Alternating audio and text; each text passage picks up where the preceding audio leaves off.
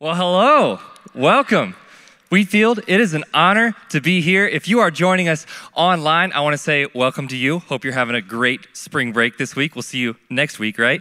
Also, to the jail campus, I'm so grateful to be a part of the ministry directly there. And uh, I also want to, with, without further ado, also welcome the Hebron campus. Hey guys, my name is Noah, and I get the privilege of being the worship director at the Hebron campus. And I'd love to share with you just a few quick facts about me. The first of which is the most important. I have a wife. Her name is Jenna, and she is beautiful. She is wonderful. She is my favorite person in the whole world. And as Pastor said, she is the operations director up at Hebron. And I just, I love living a life of ministry with her. As of Thursday this week, we celebrated four years of marriage. Yeah. Here's a little picture of our family. That's me. That's Jenna. This guy right here that's Nacho. He is our dog. He is 12 years old now, which kind of makes him a grumpy old man. But look at that face. That's a good boy right there. I am uh, 27 years old now, and um, my Enneagram type is definitely a three. The last bit of trivia that you should know about me is that I have moved 26 times. 26 times. And yeah, I'm 27 years old, and I've already lived here for two of those years. So I'll let you do the math. Growing up, I was a military kid, and that meant hopping into new environments, making new friends, adjusting to different cultures. And I have something to say to all of you. This community, the people that represent Christ in the towns of Hebron and DeMotte and Wheatfield, you guys are special. You guys are built different. The kind of generational community that exists here is truly unique. And um, I've lived a lot of places, but this is my favorite place to live. I actually love it here. And that's saying something because I used to live in Hawaii. Yeah. Um, you, will I'll, I'll tell you this right here, right now. Today, you heard it from me. I will take sweet corn over coconuts any day. But for real, I do believe that God is working in the heart of this community. And I'm just so thrilled to be a part of generations of disciples making generations of disciples. Amen? Amen. Well, today is my first time preaching. This is my third time now. I guess. Um, but I'm still just as nervous. I thought it would change a little bit, but I'm shaking. My mouth is really dry, and my teeth are sticking to my lips and stuff like that. Um, so if I could just ask uh, for two things from you. First, would you give me your ears? Uh, I really think that the story that I'd like to share with you is worth listening to, and I do think that it could be a catalyst for life change. The second thing, far more important than just listening, would you open up your hearts? Open up your hearts to what God has for you today. I believe that God has all of the conviction and all the grace that we need. I'd like to pray, and as we do, I want to invite you to speak with God and say, Lord, feel free to change my heart today. Let's pray. Jesus, we are in awe of you. We have been blessed by you in ways we don't even deserve and cannot begin to recount. God, I ask for your presence to move in our hearts today. I ask that you would use me to communicate your greatness. Help my words to be clear to the ears that listen but more importantly, God, would you move and speak clearly to the hearts that are open? It's in your name we pray, Jesus. Amen. Question, question for you. Have you ever wondered what it takes to be a Christian? I know I have, uh, just kidding, I haven't. I'm asking for a friend. Tied it into the series, yeah. As I said before, I grew up on the move, and that meant that um, uh, there were always boxes, like fully packed, labeled, taped up, ready to go, just waiting for the next truck. In fact, if you went to my house down in Alabama right now, I bet you you could go in the attic and still find boxes packed, labeled from before the year 2000, probably. Mom, Dad, if you're if you're watching, I love you. You'll be ready for the next move, you know? But moving wasn't just about the boxes, right? It was actually a pretty crazy way to experience community. I mean, imagine trying to make a friend knowing that you're going to only see them for less than a year. It was difficult. And the friends that I did make, they weren't the lifelong kind of friends. Um, they, they, didn't, they weren't the friends that I would go to their house for Christmas or take a vacation with. In fact, I didn't have a lifetime kind of friend until much later in life. That being said, all that being said, I did really learn about Jesus. Um, I was always at church. Like, my parents have to say thank you to that because every time the doors were open, we were there. In fact, church was the most consistent thing that I had in my life growing up.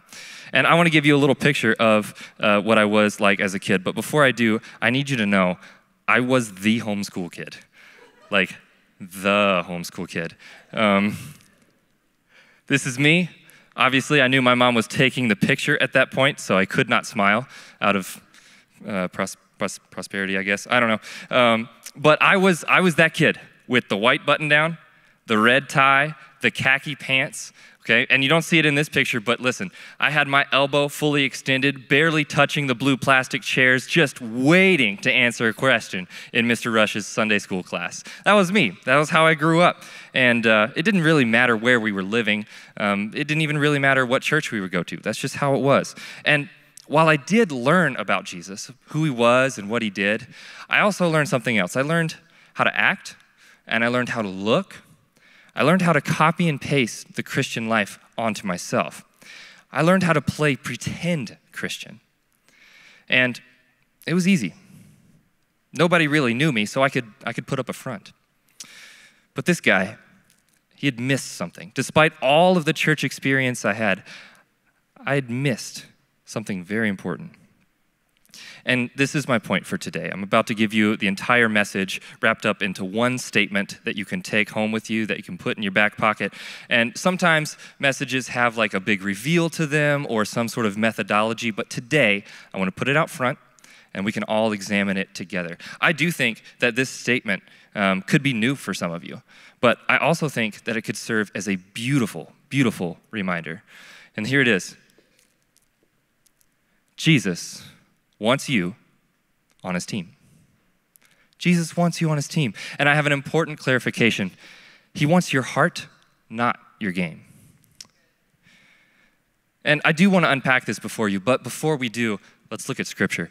Paul says in Ephesians, even before he made the world, God loved us and chose us in Christ to be holy and without fault in his eyes. Before the world was ever made, God loved us, he chose us. And in Christ, we can be without fault. Man. I continued to grow up as typically everyone does. And I ended up getting to the eighth grade, started making friends. I would say this is the first friend group that I really do remember and cherish. And uh, all the guys that I made friends with were extremely athletic, like insanely athletic. Um, some of them even went on to play like collegiate and professional sports.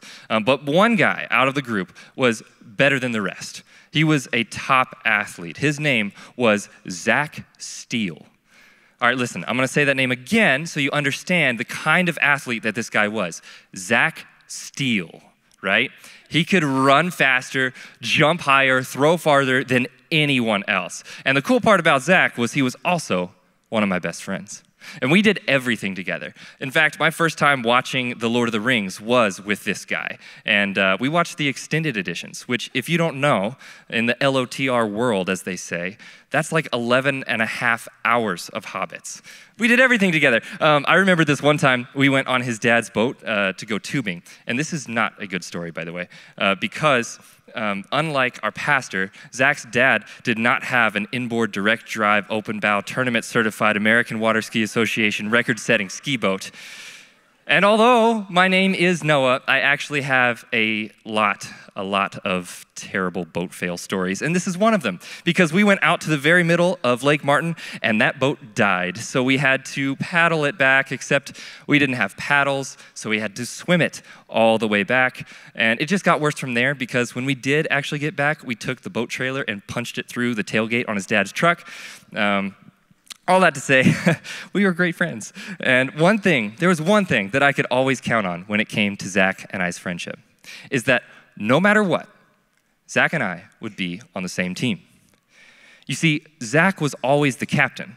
He was the best. And you know how you pick teams. You split the two best guys up and they start calling people out. They're like, I want you, I call you, I call you. Zach, without fail, would always choose me first. I called Noah. And it didn't make a whole lot of sense because I was not the best pick. There were plenty of other guys that would have been a better option than me. But still, Zach would choose me. Why? Because he wanted me. I wasn't the best, but he loved me anyways. I was valued regardless of my contribution. Zach picked me just the way that I was. Have you ever been there? Have you ever experienced the feeling of being the person that someone wanted? Not too much time after Zach and I became friends, I would become a Christian, which is crazy to say because I, I grew up in church, right? But I'd only played the game. I hadn't actually given my heart to Christ. And looking back, my understanding of Jesus' love for me began with the way that Zach picked me. It began with the way that Zach loved me. You see, Jesus, he wants us on his team. And he wants us regardless of our ability. He wants us regardless of our contribution. There's no audition, there's no trying out. Jesus doesn't love you because of your talent. He doesn't love you because of your position or your money. He doesn't love you because you're popular. He doesn't love you because of anything that you have, because He gave you everything that you have. And it says in our verse, even before God made the world, He loved us and chose us. Before the executive position at the law firm had ever been created, before American Idol would discover the greatest female country singer of all time, Jesus loved you and me. And the Bible talks about this in great detail. In Romans, it says, But God showed his great love for us by sending Christ to die for us while we were still sinners. Even though we weren't the best pick, even though we don't measure up. Jesus says in Luke, I haven't come to call the righteous, but sinners to repentance. I never had to try out to be on Zach's team. I didn't need to bring my game for him to pick me. He knew me and he knew who he was picking. He knew that I didn't measure up to the same athletic standard. And guys, here is the story of the day. And if you've fallen into one of those Sunday morning comas, I know, I've been there. Now is the time. Sit up, take a breath, relax, open up those ears, because I'm actually uh, going to warn you, this, this story is crazy legitimately crazy. I can remember Zach picking me for this big race. You see, both of us were in the same Boy Scout troop, and uh, that was the first year that our troop went to summer camp. The place name was Camp Thunder, and at the end of the week of activities, we did this big tournament, Olympic style um, set of games, like competing against the other troops.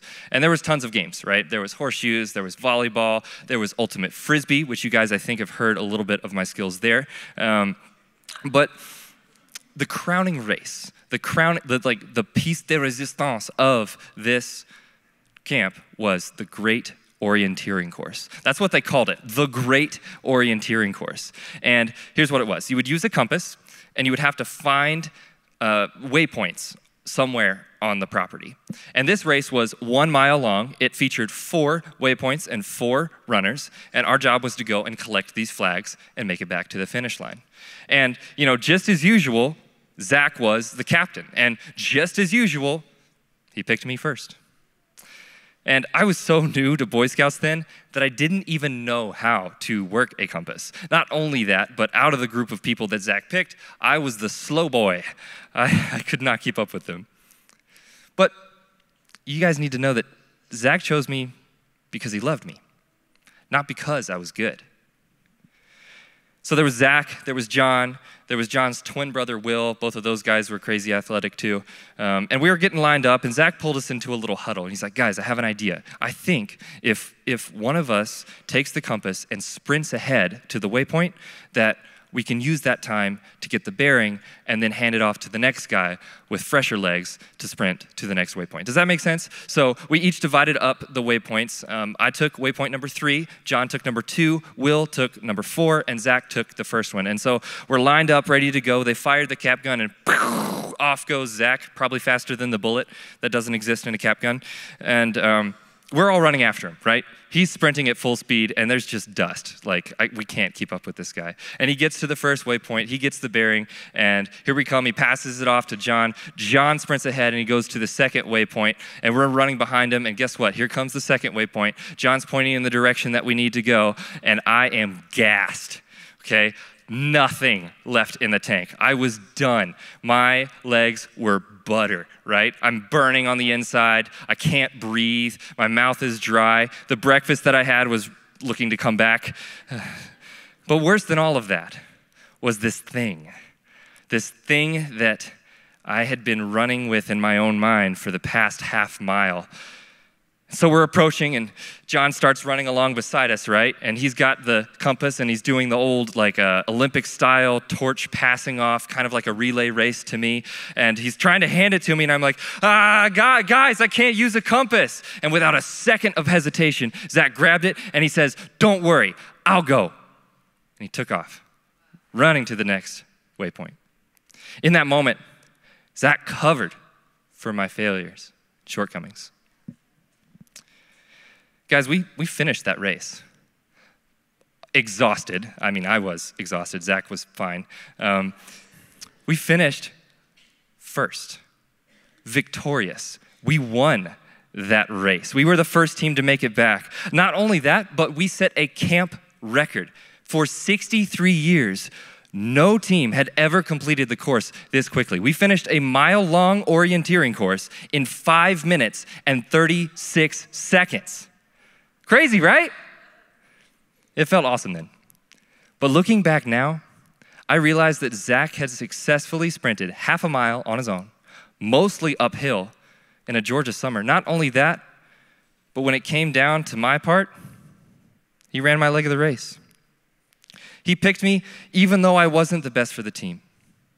He chose me when I wasn't the best and then ran my leg of the race. Listen, he chose me before the race ever started, before I ever failed him, fully knowing who I was. And then he covered for me when I couldn't run anymore. On top of all of that, you know what happened at the end of that race? We crossed the finish line and we celebrated. Zach came to me and he was like, That was awesome. Great job. Church, listen, on a much, much, much bigger scale. Jesus has done that for us. He's the captain who always calls us. And then he did all of the work for us by going to the cross on our behalf. And when we put our faith in him, he rejoices, he celebrates. I asked at the beginning, what, what does it take to be a Christian? Well, it takes Jesus. It takes his righteousness to pay for my unrighteousness. It takes his love to forgive my failures. It takes his death to give me life. Why? Why would Jesus do all of that? It's simple. It's because he wants us on his team. Even before he made the world, God loved us and chose us in Christ to be holy and without fault in his eyes. So, what do we do with that? What should we do with this? I think there's two implications that we can do with this. The first is to give him your heart, not your game. Give him your heart, not your game. The game I played growing up, it was so easy. It was so easy to pretend to be a Christian. I had everyone fooled. But the game, it didn't satisfy.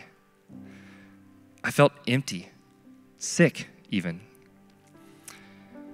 And Zach was one of the people that God used in my life to demonstrate the kind of love that He has for me, the kind that forgives my failures, the kind that pushes me to greater things. And to stop playing the game and to give Jesus my heart, I needed that kind of love. I wonder how many of us have been playing the Christian game without actually giving Jesus our whole heart. Maybe you need Jesus to run your leg of the race. Maybe you've been struggling to keep everything together.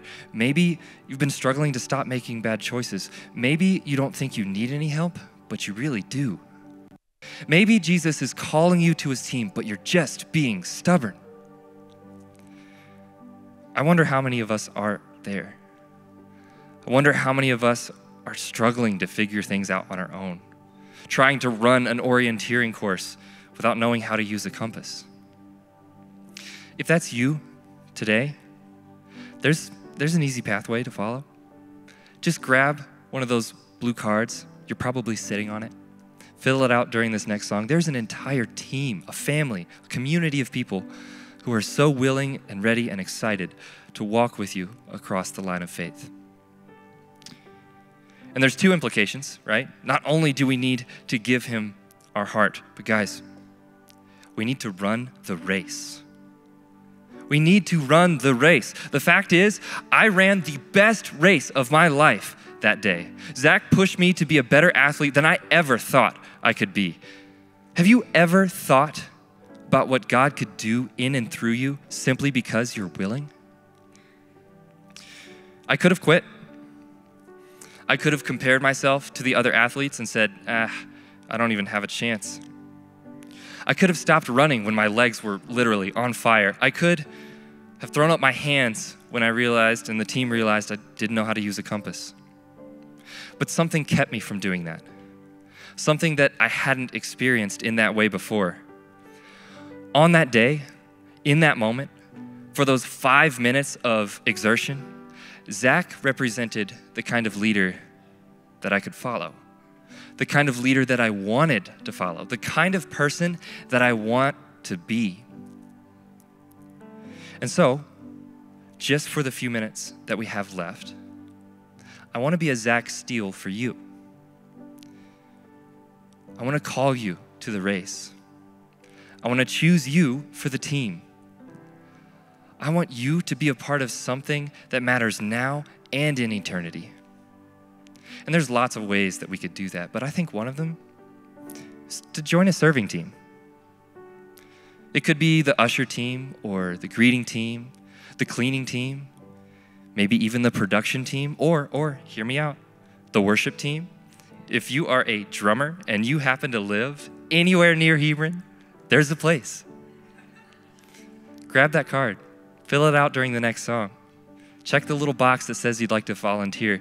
One of the values that we share as a church, it's written on the walls out in the lobby. It says, save people, serve people. This is a way that we find community. This is a way that we build community. We're called to Jesus' team. It's, it's why we put our hands in and team it up at the end of every service. And I don't know, I don't know. Maybe some of you are already on a serving team, and that's awesome. But maybe it's just a thing that you do and then you go home without taking advantage of the community that God has given you, without doing life with the other people on the team. And if that's you, I just want to call you to get involved. I experienced Jesus' love when my friend Zach picked me. When he valued me, when he chose me, it made me feel awesome and it pushed me to run the best race of my life. And I believe that Jesus is always calling us to himself. He cares about us. He wants a relationship with us. He paid the debt we owe. He ran to the cross on our behalf. And now he's victorious over sin and death, and he's calling us to his team. If you want that kind of friend, if you want that kind of leader, if you need that kind of forgiveness, if you want to live a life with a purpose that never fades, run the race. We want to be a church that looks to God for heart transformation, not just habit changes. And I encourage you, pull, pull out one of those cards. Take the step that God is calling you to do today. But hear me, don't be stubborn. I've played the game before. I've walked into church, sat down, listened to a cool story, saw some great points, and walked out the same way that I came in. Following Jesus will push you further than you ever thought you could go. And we say this all the time nobody's perfect, and everyone is welcome.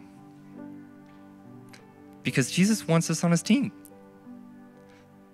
So give him your heart and run the race. Church, I want to invite you to stand. I'm going to pray, and then we'll sing one more song.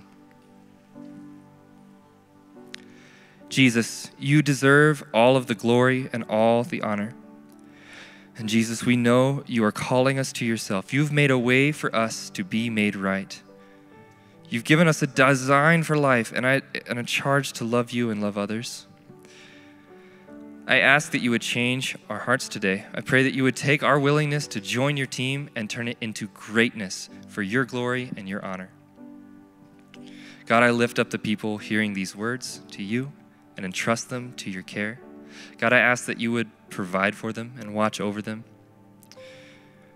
Please give us the conviction where we need conviction and grace where we need grace. It is in your name we pray. Amen. Let's sing this last song together.